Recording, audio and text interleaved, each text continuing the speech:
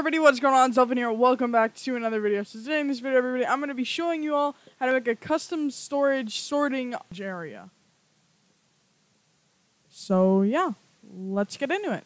Okay, so everything that you're going to need is in the chest. So in the chest, we have four redstone repeaters, two redstone torches, three redstone comparators, eight redstone, three droppers, and ten hoppers.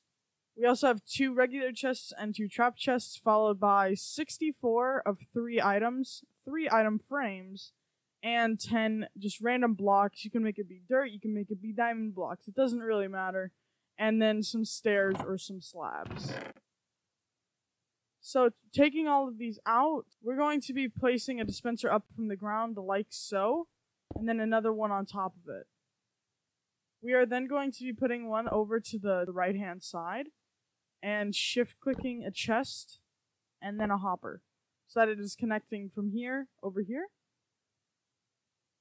From there, we are going to go behind and add a redstone comparator, followed by another block and a redstone repeater.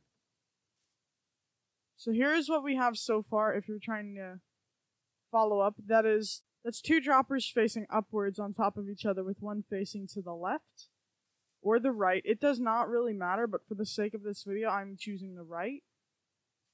You have a chest on the middle dropper, followed by a hopper that is connected to the bottom dropper. Next, what you need to do, you need to add redstone connecting the repeater to the comparator. And you do that just like so, so that it sends a signal from this all the way around. You then add two other blocks, and you connect that signal but instead of just full redstone, you put a repeater and you make it be on one tick. So you would right click this repeater one to make it go slower than a typical repeater.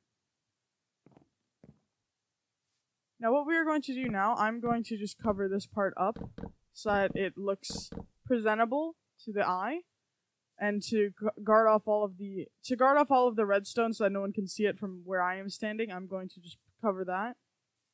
Next, I'm going to put a normal chest followed by a trap chest and place three of those. Then I'm just going to do the exact same thing, make it look pretty.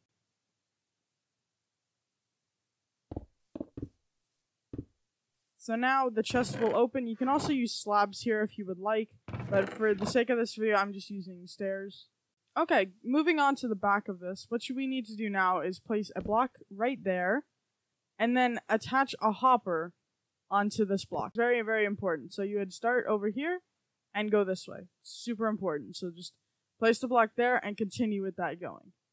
Next, what you need to do is just simply right click on these, on the stairs or the slabs so that it will know to go down from these and into here. Next, what we're going to do is break the blocks one behind and under the chest and put redstone torches on them.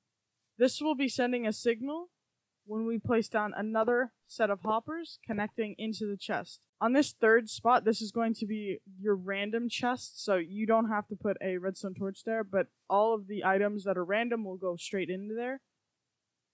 Now what you need to do is you need to place two blocks right behind this one and add a comparator going the opposite direction of your chests. From that point on, break the blocks below them break the blocks two down and one back from them, and add a repeater. This will connect to the redstone signal on the other side. Block that up now, and add redstone going in a circle.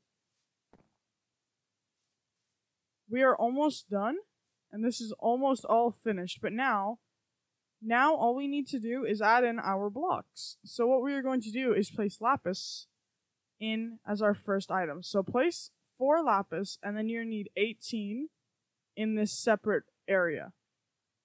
So four of them require one piece of the item that you're about to make in your storage, and then the last slot requires 18.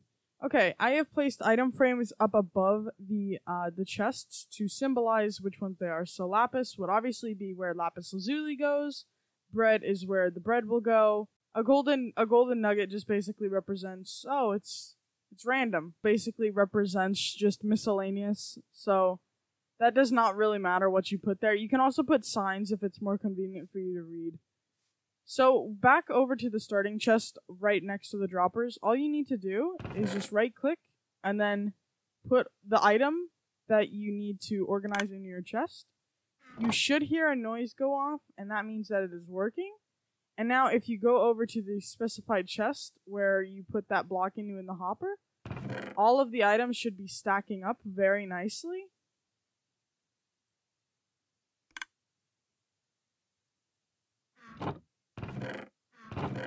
Yeah, so there is 41 of our items. I'll do the same with the bread.